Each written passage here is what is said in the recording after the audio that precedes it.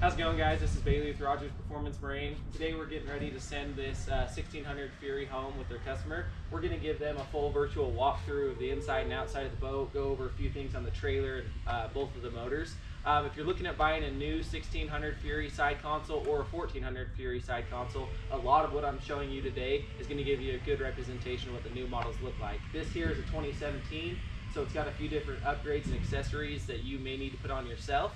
Um, but even the 2020 models are going to be laid out almost identical to this, um, just with a few uh, minor changes. So we're going to take a step back to the back of the boat and go over the motors first. Um, so this particular boat is uh, kind of a rarity. I haven't seen this before. Um, it does come equipped with the 40 horsepower Mercury that was ordered from the factory, uh, but they went ahead and put an 8 horsepower kicker motor on the back for it. Uh, the previous owner did a lot of uh, river fishing uh, with a lot of current wanted, uh, you know, to have a motor he could troll with and without burning up the electric motor on the bow. Um, so we'll go over that motor here in a minute. Starting with the 40 horsepower motor, you notice the previous customer had a transom saver installed by us. Um, highly recommended with the weight of the 40 horsepower motor. That's just going to prolong um, the longevity of the transom for sure, um, keeping this boat in as good as condition as possible for as long as possible. So when you're traveling down the road, you do want to use this if you can. We're going to take this off right now to go over a few things on the motor does have a trim switch on the port side, so you don't have to climb up in the boat. You can raise it, then lower transom saver, then lower down the motor. You can trim it, of course, at the console, or you can trim it back here with the trim switch that I'm using right now.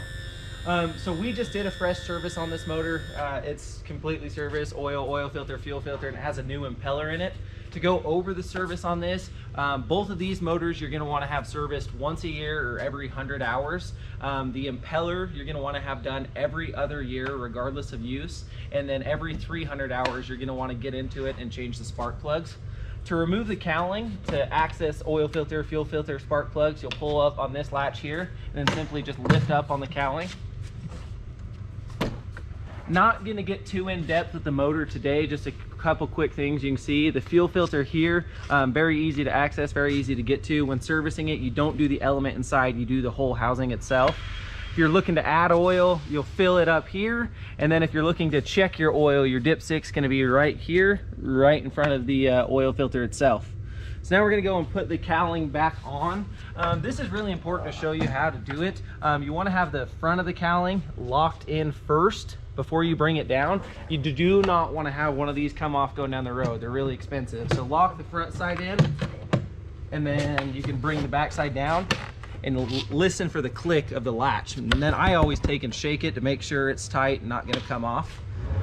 Moving over to the kicker motor, this is an 8 horsepower kicker motor on it. Um, typically, you're not going to see a 1600 Fury have a gas-powered kicker, but for the guy that traded this in, um, it worked perfectly for his application. We're going to want to service this the same exact way once a year every 100 hours and do the impeller and the lower unit um, every other year regardless of use. Uh, we did have a kicker tie bar in, uh, installed so you can steer the kicker up front from the helm when you're steering the 40. If you want to manually steer it with the tiller handle back here, it's on a quick disconnect. You'll slide this back, that'll pop up, and now we can manually steer this. We've already gone through the motors, made sure they're ready to go, fired them up, and they've both been serviced and they're ready for the water. Um, just a quick thing on this motor, you're looking to shift it in and out of gear, where this is not a Mercury motor, a little different shift assembly, it'll be right here. So if you press it back, you're in reverse, neutral, then back into forward, pull it towards you for forward. Then your emergency kill switch is right here. Press that to shut it off, or simply pull on the switch, okay? This is a manual start engine, so no electric start, no charging system equipped on there right now. All right, so now next we're gonna go over the trailer. Um, so the previous customer upgraded the trailer tires on this to have a little bit bigger tires. This is a nice upgrade that he did. I do like that. Um, when you're backing it in the water, I recommend having the front of the fender about three inches below water. That may not be enough to pull the boat off the trailer, but it's gonna be enough that you can lower the motor in, fire it up. You do not wanna ever fire the motor up out of water. So you lower the motor in, get the gear case underwater, fired up, make sure it's pumping water and all systems are go.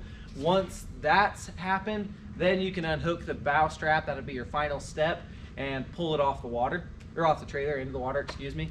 Um, one thing that I forgot to mention you don't want to forget is obviously it's got transom straps on the port and starboard side. You'll want to remove these before you back it in the water.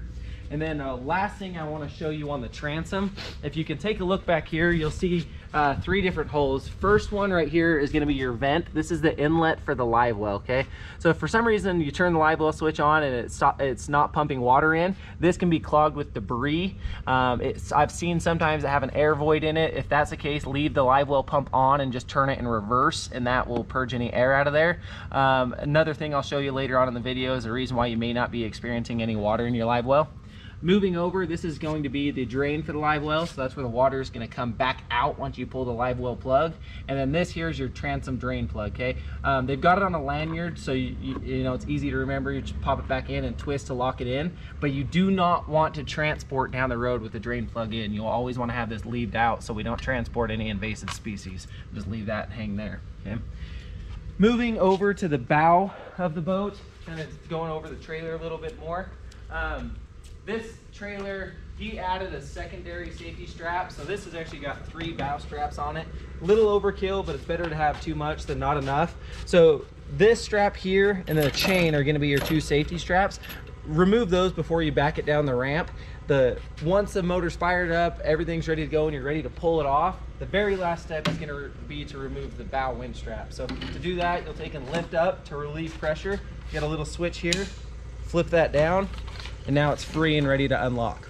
Very simple, and then when you go to put it back on the trailer, flip your latch back up, twist it the lock, and that's good to go.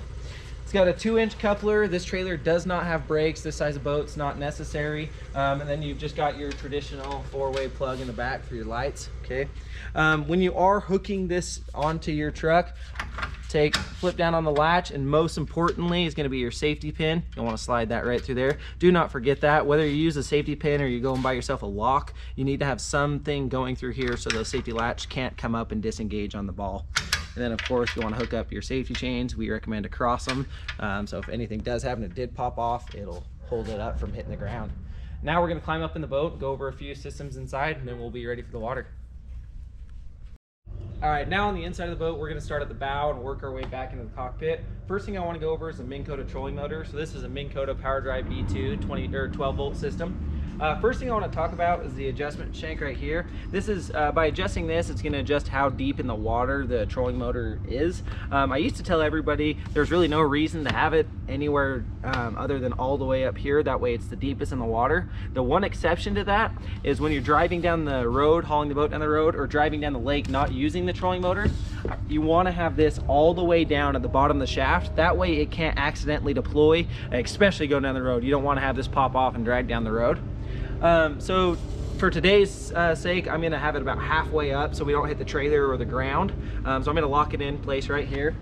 To deploy it, super simple. This latch right here, you'll take press down and then slide the shaft forward from there. And then it'll be locked in place. So right now it's uh, hitting the spare tire. I'm gonna bring it up a little bit further. Now it's locked in place and ready to go. Wiggle here, it's not gonna pull itself back up. Now we need to plug it in for power. Um, this has got a keyed plug, so you cannot put it in wrong. Power port's gonna be located here. Take, put that in. All right, now it's plugged in and we're ready to use. If you wanna check your battery level, you can press the test button right up here on the trolling motor. Shows it's got plenty of battery power. Now this one's gonna be operated by a foot control. Um, so this foot control, very, very simple to use, okay? Um, you've got steering left to right by turning it left or right, okay? Your power level is gonna be on a scale of one to 10, one being the lowest, zero being off, all the way up to 10 for max power. Let me make sure it's not gonna hit the side of the boat. Okay. So really quickly, I don't know if you can see it in the video, but right there it says MOM or MOM, that's for momentary. And then if you move it over, I'm gonna turn it back to zero so it doesn't turn on.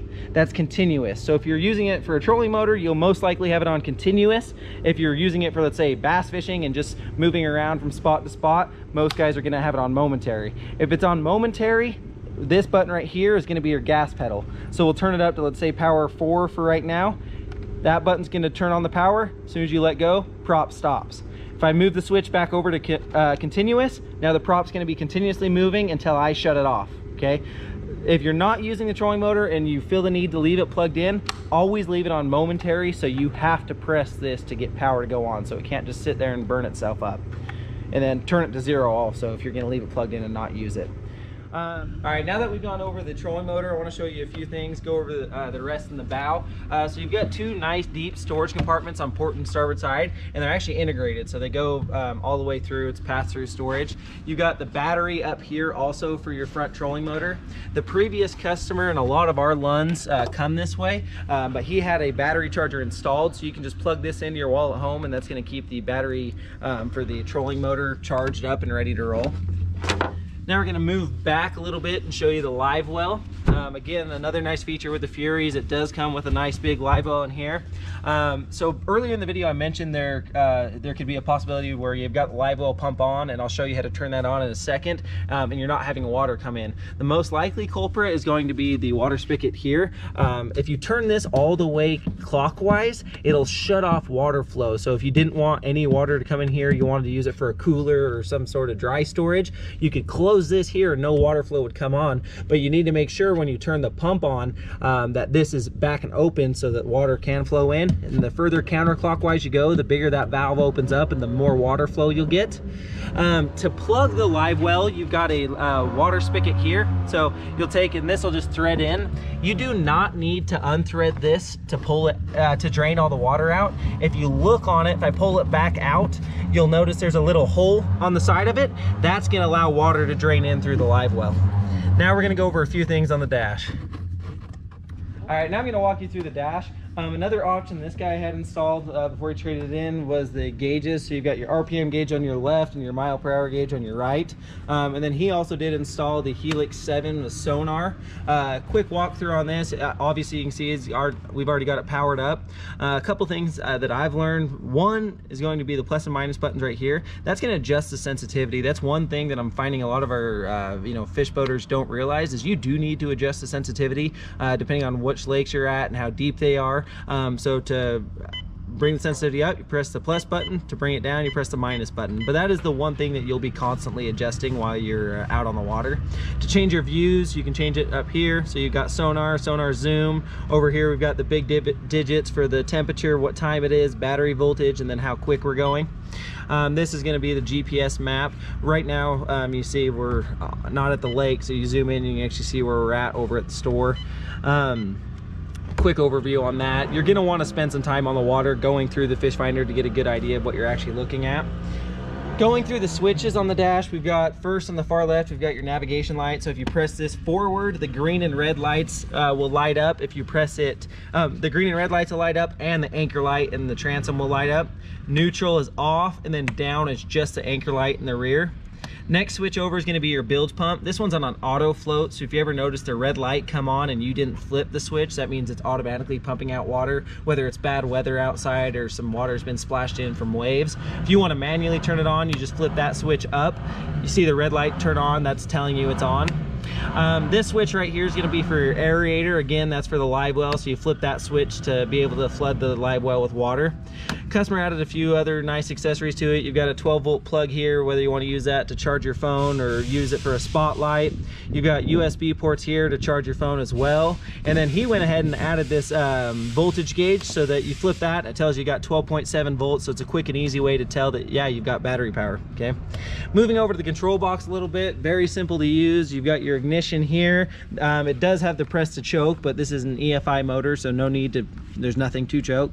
Um, simply turn the key to turn it on. If you hear the alarm that tells you one, your run switch is on, and two, you've got battery power and ready to fire up. We're not gonna fire this up right now in the video because we, we're not in the water, okay? Um, but you do wanna make sure one, your emergency run switch is up and two it's in neutral. It will not start if it's the run switch is down or if it's in gear. To put this boat in gear there's a little red trigger. You'll take and pull up on that. That'll take you to go to forward gear. Once you're in gear let go of this trigger. You don't want to squeeze on that because that puts you in jeopardy of accidentally going from forward all the way to reverse without stopping in neutral. And that's not that's something you want to do when you're on the water especially is always stop in neutral before you go from forward to reverse or reverse to forward. Uh, one other thing I want to show you on the bow that I forgot to talk about on the trolling motor specifically is how to retract it once it's been deployed. Um, very simple to do. I just want to make sure you know how to do it. To retract it, you got this lever here. Press that down, then you can grab the trolling motor shaft and take and lock it in place. We'll see a lot of guys store the trolling motor like this, vertical. You want it horizontally placed and pull it back to lock it in. Give it a good pull to make sure it's set in place. And then remember, move this shank all the way forward. All right, now moving back and show you a few more features in the cockpit. Um, really the last things I wanna show you, both port and starboard side, you've got great amount of storage. You've got, uh, right now we've got our navigation light and our anchor light, but you can see plenty of storage for rods on this side and you've got the same thing, just a little shorter on the starboard side. So great for additional storage, whether you're using it for tackle storage or rod storage, it's nice. They, they utilize every part of this boat for storage or accessories. So that gives you a good idea of the 1600 Fury and hope you have fun on the water. Thanks.